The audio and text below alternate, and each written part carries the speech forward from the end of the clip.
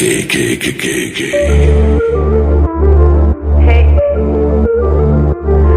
elefante muy elegante, la trompa muy la trompa gigante.